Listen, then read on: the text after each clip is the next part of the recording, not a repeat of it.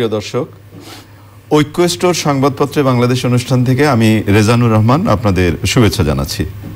বিভিন্ন জাতীয় দৈনিকে প্রকাশিত খবরের বিশ্লেষণ নিয়ে আমাদের আজকের অনুষ্ঠানে অতিথি হিসেবে উপস্থিত আছেন ঢাকা সাংবাদিক ইউনিয়নের সভাপতি বিষ্ট সাংবাদিক কুদ্দুস আফরাদ ভালো আছেন?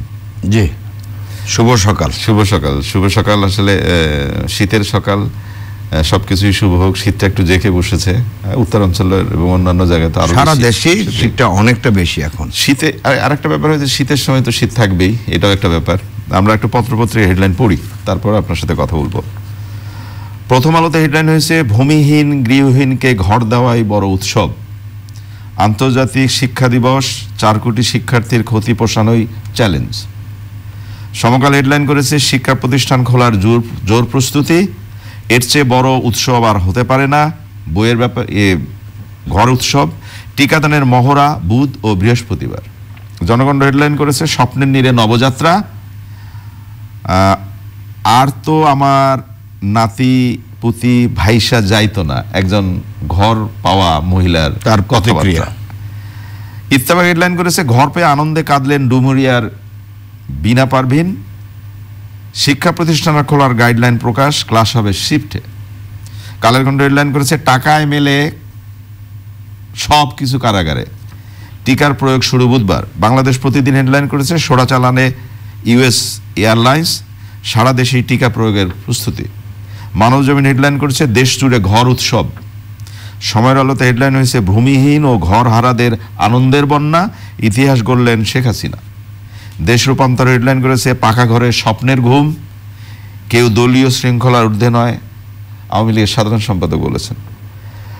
আমাদের সময় হেডলাইন করেছে, বুধবার ঢাকায় প্রথম টিকাদান, পরিকল্পনায় ঘাটতির কথা বলছেন বিশেষজ্ঞরা। কুতুল ভাই, আমরা করোনা নিয়ে পরে কথা বলব, কিন্তু আজকে পত্রপত্রিকার হেডলাইনগুলো পড়ে এত ভালো লাগল। কয়েকটা হেডলাইন তো খুবই চমৎকার, যেমন, পাকা ঘরে স্বপ্নের ঘুম আবার আমরা বইয়ের উৎসব শুনেছি, ঘর উৎসবের শিরোনাম হয়েছে মানব জমিনে।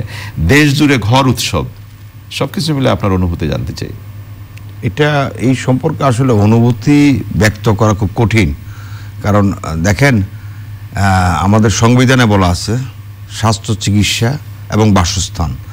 এইসব হচ্ছে মৌলিক উপা, মানুষের মৌলিক চাহিদা এবং মৌলিক চাহিদা পূরণ করা হচ্ছে সরকারের কাজ। কিন্তু আমরা অনেক ক্ষেত্রে দেখেছি, অনেক ক্ষেত্রেই এইসব যে মৌলিক চাহিদা উপেক্ষা হয় অথবা ফুলফিল করা যায় না এরকম আছে। সরকারের সক্ষমতা অক্ষমতা দুটি আছে। এটা ভাবতে ভীষণ অবাক লাগে অর্থাৎ মুজিব বর্ষের সবচেয়ে বড় যদি কোনো কর্মকাণ্ড থেকে থাকে মানুষের জন্য মানুষকে বাঁচিয়ে রাখা এবং আমি আমি তো জীবনকে সচল করার মনে করি বাংলাদেশ এর পরে আমাদের দেশ স্বাধীনের পরে যে আনন্দের ঘটনাটা হতে পারে সেটাই ঘটনা সেটা এই ঘটনাটা।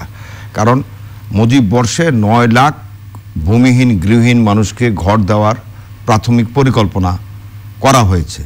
এর ভিতরে গতকাল প্রথম প্রায় সত্তর হাজার ছয়ষট্টি হাজার ঘর পেয়েছে। ঘর পেয়েছে। এই স- আরও কিছু দিয়ে দিবে কয়েকদিনের ভিতরে সত্তর হাজার টার্গেট এর বাইরে আগামী মাসে আরও এক লাখ লোককে কিন্তু ঘর দেওয়া হচ্ছে। বর্তমান সরকারের যে প্রকল্প আশ্রয়ন প্রকল্প একের এক দিয়ে এর আগে কক্সবাজার এবং কয়েকটা জায়গায় ঘর দেওয়া হয়েছে। এটা দুই দুইয়ের প্রকল্প চলছে এখন। আমি মনে করি যদি এই কর্মসূচিটি সুন্দরভাবে শেষ হয় তাহলে পরবর্তীতে যে কোনো সরকারের জন্য এই যে আশ্রয়ন প্রকল্প তাদেরকে শান্তির নীরে আপনি যেটা বললেন যে শান্তির নীরে মানে ঘুম সে যে নিদ্রা যেতে পাকা ঘরে শান্তির ঘুম। হ্যাঁ এই যে এই শান্তি এই শান্তির সাথে কোনো শান্তির তুলনা হয় না। আমি মনে করি এই ঘটনা প্রধানমন্ত্রী শেখ হাসিনা আমাদের পার্বত্য চট্টগ্রামের শান্তি চুক্তি করে যেরকম একটা অঞ্চলের দীর্ঘদিনের নৈরাজ্য স্থিরতা সহিংসতা বন্ধ করেছিল, এই আশ্রয়ন প্রকল্প দিয়ে মানুষকে ঘর বানিয়ে দিয়ে যে শান্তি এনেছে, সেই জন্য আমি মনে করি আন্তর্জাতিক পর্যায়ে, এখন এটা যদি নোবেল পর্যায়ে হয়, আমি জানি না, তার একটা বার্তা যেতে পারে এবং নোবেল এই ক্ষেত্রে উনি উনি দাবিদার হতে পারেন। কারণ তিনি যে শান্তির জিনিস টানছেন। এখানে এইটা হচ্ছে প্রকৃত অর্থে শান্তি। আমি যদি সত্তর হাজারের অনুভূতি গতকালকে ব্যক্ত করি, সত্তর হাজার ফ্যামিলি তাদের সাথে অনেক আছে। এটা কিন্তু চারটিখানি কথা না। না, সামাজিক যোগাযোগ মাধ্যম এবং বিভিন্ন টেলিভিশনে এই ঘর পাওয়া মানুষদের যে আনন্দ এবং তাদের যে উচ্ছ্বাস, কোথাও কোথাও কোথাও একটা জিনিস খেয়াল করেন, যে মাথা গোজা ঠাই ছিল না। আমি কালকে কোথায় ঘুমাবো জানি না কিন্তু হঠাৎ করে আমি একটা কাগজ পেয়ে গেলাম একটা ঘর পেয়ে গেলাম পাকা ঘর সুন্দর বাড়ি এবং সেখানে আমি রাত কাটাতে পারব। এর আনন্দের অনুভূতি। তার সাথে আবার আপনার টয়লেট ফ্যাসিলিটি আছে এবং রান্নাঘর জমি আবার তার হ্যাঁ, জন্য। দুই আরেকটা মজার দিক হচ্ছে দেখেন এই যে ঘরগুলো তৈরি হয়েছে ঘরগুলা তৈরি হতে গভর্নমেন্টের ব্যয় এক লাখ ছিয়াশি হাজার টাকা। এক লাখ ছিয়াশি হাজার প্রতি বাড়ি? প্রতি বাড়ি। দুই ইউনিটের একটা বাড়ি দুই কক্ষের একটা বাড়ি এবং তার সাথে রান্নাঘর গোসলখানা ইত্যাদি মিলে এক লাখ ছিয়াশি হাজার টাকা। এবং এই এইবার এইটা কিন্তু গভর্নমেন্ট পর্যায়ে কাজ এটা কোনো ঠিকাদারকে দেওয়া হয়নি। আচ্ছা, ওই প্রকল্প কাজ করছে। আমি নিশ্চিত যদি এটা কোনো কারণে কোনো প্রকল্প করে আলাদা এটা ঠিকাদারকে দেওয়া হতো প্রত্যেকটা বাড়ির মূল্য হতো চার থেকে সাড়ে চার লাখ টাকা। ভিতরে হয়তো বাঁশের কঞ্চি থাকতো বা অন্য কিছু থাকতে পারতো। যে- যেটা গভর্নমেন্ট যে এই জায়গায় আমাদের গভর্নমেন্ট কর্মচারীরা অনেকটা সততার অনেকটা পরিশ্রম করেছে অনেকটা সততার পরিচয় দিয়েছে। এটার জন্য আমি সরকারের সংশ্লিষ্ট যারা সদস্য এই প্রকল্পে কাজ করছে তাদেরকে ধন্যবাদ জানাই। আমি মনে করি যে এই ধরনের কাজ, অনেক কাজ আছে গভর্নমেন্ট নিজেদের মেশিনারি যে গভর্নমেন্ট করতে পারে। এইটাতে এই যে তারা যে সাফল্য দেখিয়েছে এবং খুব অল্প সময়ে, এই সময়টা যদি অন্যান্য জায়গায় এইভাবে আমাদের ব্রিজ কালভার্ট যেগুলো করা হয়, ছোট ছোট কালভার্ট এই কালভার্টের জন্য গভর্নমেন্টের উপজেলা লেভেলে জেলা লেভেলে যে প্রকৌশলী টিম আছে, তাদের, তারা নিজেরাই করতে পারে। তবে চেক অ্যান্ড ব্যালেন্স থাকতে হবে। আমি মনে করি যে এই প্রকল্প দ্বারা উপকার ভোগীরা নিশ্চয়ই বঙ্গবন্ধুর কথা স্মরণ রাখবে। অবশ্যই অবশ্যই। এবং আর আরও সবচেয়ে বড় ভাবে বাড়িগুলো দেখলে একটা স্বপ্নের বাড়ির মতোই মনে আমাদের মুক্তিযুদ্ধের উদ্দেশ্য হ্যাঁ, কিন্তু তাই ছিল। রঙিন রঙিন বাড়ি রঙিন টিন একদম আলোক উজ্জ্বল এক এক। জেলায় এক এক রকম। এক এক রকম। আমরা মাননীয় প্রধানমন্ত্রীকে অনেক সাধুবাদ জানাই এই জন্যে এবং আমরা আশা করি যে এই রকম স্বপ্নের বাংলাদেশ আরও উদ্ভাসিত হবে। একটু করোনার দিকে আসি। ট্রায়াল শুরু হচ্ছে। একজন নার্সকে দিয়ে বোধহয় ট্রায়ালটা শুরু হবে। আমি শেষে যে হেডলাইনটা পড়েছিলাম যে বুধবার ঢাকায় প্রথম টিকাদান, পরিকল্পনায় ঘাটতির কথা বলছেন বিশেষজ্ঞরা। এরপরও কি পরিকল্পনায় ঘাটতি হচ্ছে বলে মনে হয় আপনার? পরিকল্পনাটা হচ্ছে কি ধরনের পরিকল্পনা, এটা টোটালি এখন আসলে গভর্নমেন্টের তরফ থেকে জানানো হয়নি। সেই জন্য ঘাটতি মনে করছেন, তারা মনে করার যথেষ্ট কারণও আছে আমি মনে করি। কারণ এত বড় একটা প্রস্তুতি, টিকা এটা আসলে চূড়ান্ত হলে জানিয়ে দিতেন। গভর্নমেন্টের তরফে এখনও জানানো যাচ্ছে না, তার মানে সে চূড়ান্ত হয়নি। তারা যেভাবে বন্টন করেছেন, এর আগে আপনার অনুষ্ঠানে বলেছিলাম যে বন্টনের যে প্রস্তাব পেশা ওয়াইজ বা এজ ওয়াইজ সেই প্রস্তাবটা মন্ত্রণালয় এখন অনুমোদন হয়েছে বলে আমাদের কাছে কোনো খবর নেই, আমরা মিডিয়া তো দেখিনি। অর্থাৎ প্রস্তাব আকারে আছে। দুই হচ্ছে, এই যে বুধবার শুরু হচ্ছে, এটা হচ্ছে মানে শুরু হবে মূলত হচ্ছে ফেব্রুয়ারিতে ফার্স্ট উইকে এটা হচ্ছে একটা ট্রায়াল মক ট্রায়াল বা অবজারভেশন ট্রায়াল বলা যায়। গভর্নমেন্টের ভাষা, এটা হচ্ছে তাদের পাইলট একটা ইয়া স্কিম তো বুধবার এবং বৃহস্পতিবার, বুধবার পঁচিশ বা তিরিশ জনকে দেওয়া হচ্ছে। প্রথম টিকা গ্রহণ করবেন একজন নার্স, ওই দিন একজন সাংবাদিক থাকবেন, আইনজীবী থাকবেন, চিকিৎসক থাকবেন, অন্যান্য পেশার লোকজন থাকবেন। আর ঢাকায় চারটি হসপিটালে বৃহস্পতিবার থেকে ট্রায়াল শুরু হবে। ট্রায়াল শুরু হবে। এই টিকাটা দেওয়ার পর এক সপ্তাহ পর্যবেক্ষণ করা হবে। আপাতত এটাই হচ্ছে গভর্নমেন্টের পরিকল্পনার ফার্স্ট ধাপ। এবং এইটা কোনো মানে তার হিসাবের ভিতরে নেই। এইটাকে দেখার পর আসলে যে পরিকল্পনা গভর্নমেন্টটা করবে মূলত এরপরেই শুরু হবে। হ্যাঁ শুরু হবে। শুরু। সেইটা আমরা জানতে পারব। তো আমি মনে করি টিকা নিয়ে কোনো ভীতির কারণ নেই। এটা চিকিৎসকরাই বলছেন। কারণ একটা টিকা বিভিন্ন জায়গায় পরীক্ষা নিরীক্ষার পরেই সেই টিকাটা ছাড়পত্র পেয়েছে এবং প্রয়োগও হচ্ছে। যুক্তরাজ্য জুড়ে প্রয়োগ হচ্ছে ভারতে প্রয়োগ হচ্ছে। হ্যাঁ এখানে কিছু নিয়ম কানুন আছে। না বুঝে প্যানিক সৃষ্টি করা কারোই ঠিক হবে না আমি মনে করি। ডাক্তাররা যেটা বলছেন যাদের অ্যালার্জি সমস্যা আছে হার্টের বড় বেশি সমস্যা আছে অন্যান্য কিছু সমস্যা আছে তাদের প্রাথমিকভাবে তারা প্রথম ধাপে বা দ্বিতীয় ধাপে এড়িয়ে চলা ভালো। ডাক্তারের পরামর্শ নিয়ে যাতে টিকাটা গ্রহণ করেন। আর টিকাটা ম্যান্ডেটরি সবার জন্যই কিন্তু আনা হচ্ছে। এবং টিকা টিকা না যে কোনো ওষুধ প্রয়োগের আগে তার স্বাস্থ্যগত মানে এটা নেওয়ার মতো সক্ষমতা আছে কিনা সেটাও সেটা দরকার, দেখে নিতে হবে সেটা অবজারভেশন করতে হয়। সুতরাং আমরা অনার্থক পেনিক সৃষ্টি না করে আমরা মনে করি যে টিকা সার্বজনীন এবং বিশ্বে গ্রহণযোগ্য অক্সফোর্ডের টিকা সবচেয়ে গ্রহণযোগ্য টিকা এখন পর্যন্ত। খুব বেশি ব্যত্যয় ঘটেনি। সেই টিকাটা যে এই যে ট্রায়াল পর্যায়ে যাচ্ছে, আমরা এই জন্য মনে করি আমাদের সুক্রিয়া, কারণ অনেক দেশ এখনও টিকা পায় আমরা আমরা সেটার অপেক্ষায় আছি অপেক্ষাই করি। আমরা একটু বাচ্চাদের নিয়ে কথা বলি, আমাদের শিক্ষার্থীদের নিয়ে কথা বলি। পত্রপত্রিকা এবং প্রচার মাধ্যমে খবর পাওয়া যাচ্ছে যে ফেব্রুয়ারিতেই স্কুল, কলেজ শিক্ষা প্রতিষ্ঠান খুলে যাবে। আজকে আন্তর্জাতিক শিক্ষা দিবস।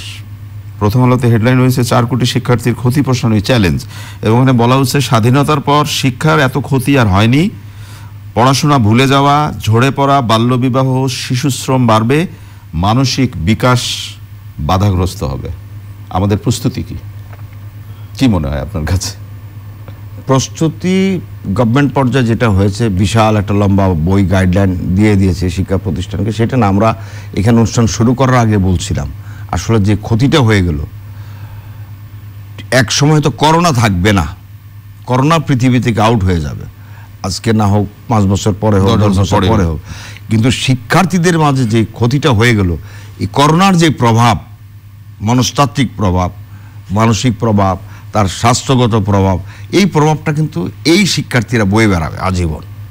তার যে গ্যাপ এই গ্যাপ কোনোভাবেই পোষানো সম্ভব না। সে একটা শিক্ষার্থী ছোট শিক্ষার্থীরা কিশোরেরা শিশুরা যখন কিছুটা অন্যদিকে ডাইভার্ট হয়েছে গত এক বছরে এই ডাইভার্ট থেকে তাদেরকে মূল ট্র্যাকে তোলা আবার ট্র্যাকে তোলা তার প্রবাহ আনা গতি বাড়ানো এটা একটা কঠিন ব্যাপার। দুই তিন বছরের একটা ইয়ে থাকতে হবে। পরিকল্পনা। পরিকল্পনা থাকতে হবে। যেরকম কালকের যেই গাইডলাইন দেওয়া হয়েছে ওইখানে নানান কথা বলা হচ্ছে কীভাবে আসন গ্রহণ করবেন কীভাবে প্রয়োজন বুঝতে পারবে, কীভাবে তাপমাত্রা নেওয়া হবে স্কুলের ভিতরে শিক্ষার্থীদের খেলাধুলার ব্যবস্থা রাখতে হবে আগ্রহ অর্থাৎ আগ্রহ জন্মানোর জন্য। সে যাতে এখানে পারিবারিক পরিবেশটা পায়। এইসব চিন্তা করা হয়েছে। আমি মনে করি এটা ইতিবাচক। একই সঙ্গে এটা যাতে প্রতিপালন হয় যেটুক করা হয়েছে আমাদের সাধ্য অনুযায়ী তো আমরা করব সরকারের সাধ্য অনুযায়ী। এখানে শিক্ষকদের বেশি বেশি মনোযোগী হতে হবে শিক্ষকদের আগ্রহটা বেশি থাকতে হবে। তারা যে এই যে এক এক বছরের উপরে সময় ধরে বসে বসে আছে তাদেরও কিন্তু মনোযোগ এখান থেকে সরে গেছে। পড়াশোনা থেকে এই যে হ্যাঁ পড়াশোনা করানো তাদেরকে তদারকি করা ইত্যাদি এই জায়গা থেকে তারাও সরে আসছে। এবং বেসরকারি শিক্ষা প্রতিষ্ঠান বা ছোট কিন্ডার গার্ডেন এগুলো তো টোটালি বন্ধ। তাদের তো বেতন ভাতা হয় নাই। তো এই জায়গাটায় আরেকটু যাতে নজর দেয় শিক্ষা প্রতিষ্ঠান ম্যানেজিং কমিটি সরকার সবার সম্মিলিত সমন্বিত একটা সমন্বিত আগ্রহ লাগবে সমন্বিত পাঠ্যদান কর্মসূচি থেকে নিয়ে অন্যান্য কর্মসূচি এবং মা বাবাদেরকেও গাইডলাইন গাইডলাইনে নিয়ে আসা। এই দীর্ঘ এক বছর তাদেরকে বাচ্চাদেরকে নিয়ে স্কুলে যাওয়া আসাটা তো বন্ধ রয়েছে। এই জায়গাটাতেও একটা পরিবর্তন আসবে।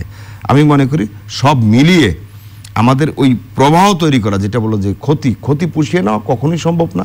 আরেকটা হচ্ছে যে গতি বাড়ানো প্রবাহ তৈরি করা ট্র্যাকে আনা বেশ সময় সাপেক্ষ হ্যাঁ এটাই আপনি বোধহয় বলতে যাচ্ছেন যে সময়ের সাথে তাল মিলিয়ে আমাদের বাচ্চাদের মনোযোগটাকে কীভাবে আরও বাড়ানো যাবে সেই প্রক্রিয়াটা আমাদের চালু করবার তাদের স্বাস্থ্যগত বিষয়গুলো প্রত্যেক শিক্ষা প্রতিষ্ঠানে আমার মনে হয় এটা হচ্ছে আমার প্রস্তাব।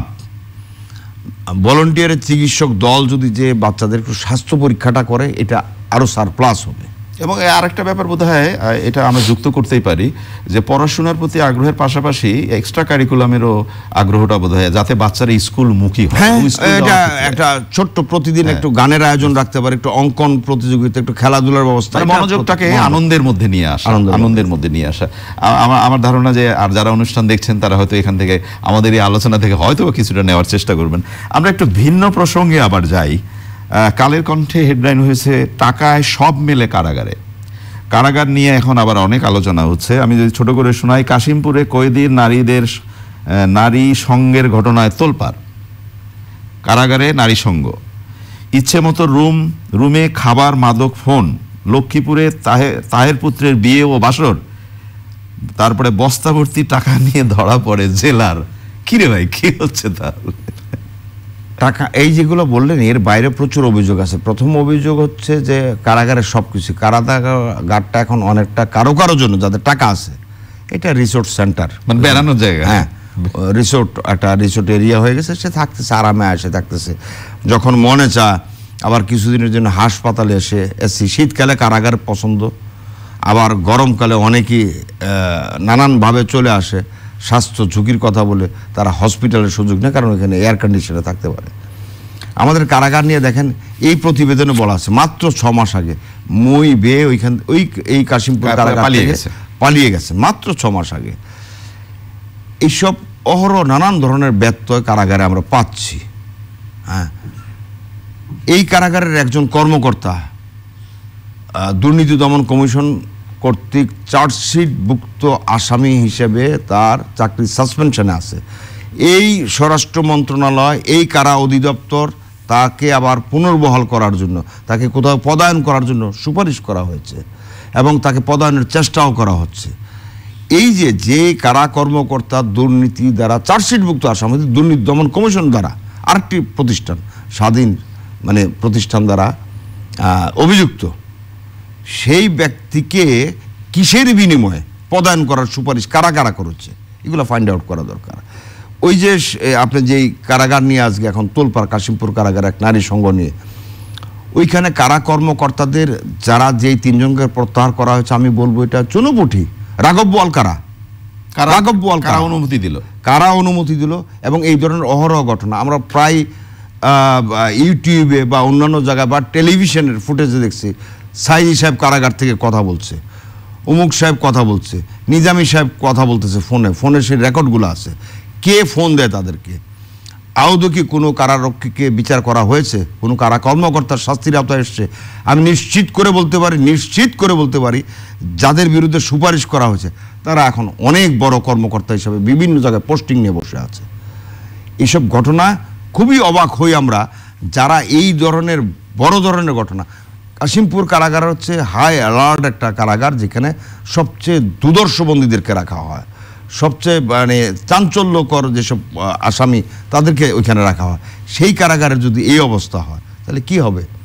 কারাগার কারা ফটকের সিকিউরিটি ব্যবস্থা আরও ভালো দরকার আরও নির্বিঘ্ন করা দরকার এবং যে যত ক্ষমতাশালী হোক, এই ধরনের ব্যত্যয় যার বিরুদ্ধে প্রমাণিত অভিযোগ হবে, তার বিরুদ্ধে আইন অনুযায়ী একবার শাস্তিমূলক ব্যবস্থা না তাকে কারাগারে পৌঁছানোর ব্যবস্থা করতে হবে। তাকেও কারাগারে রাখতে হবে।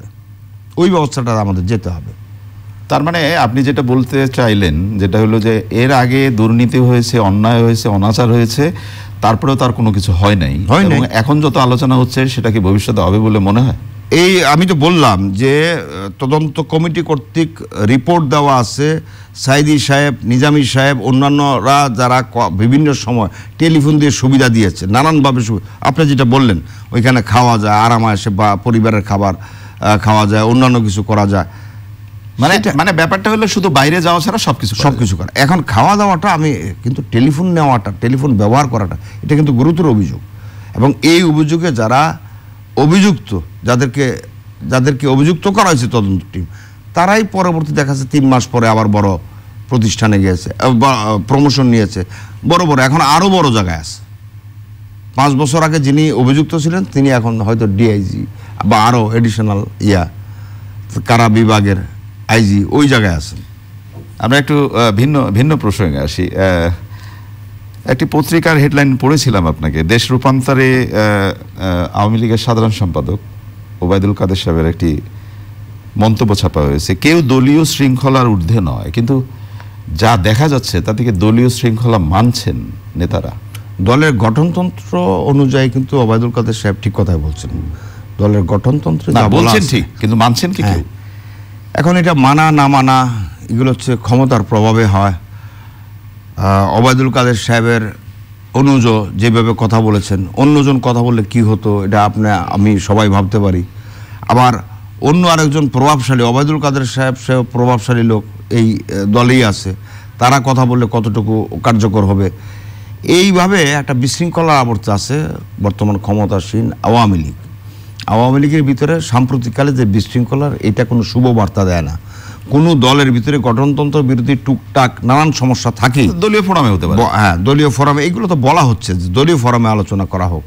দলীয় ফোরামেও বাইরেও টুকটাক থাকে বড় দলগুলোতে তৃতীয় বিশ্ব বা আমাদের উন্নয়নশীল দেশগুলোতে এই দেশের রাজনৈতিক দলগুলো সেইভাবে ইয়া না যার যার যেখানে প্রভাব আছে কম বেশি ইয়া করে।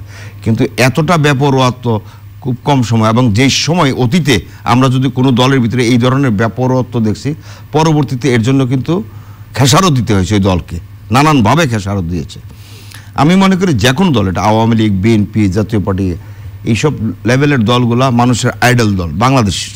তো এই দলগুলোতে, আমি বলব না জামাত ইসলাম, আমি বলব না বাংলাদেশের সমাজতান্ত্রিক দল ইত্যাদি, কারণ ওই দলগুলোর এত প্রভাব প্রতিপত্তি নেই সমাজ, তারা যেইভাবে যত কিছু নিয়ম মানক, তাতে কিছু তো এইসব দলের ক্ষেত্রে, এইসব দলের হাইকমান্ড থেকে ভালো ব্যবস্থা নেওয়া উচিত। আপনাকে অসংখ্য ধন্যবাদ, প্রিয় দর্শক।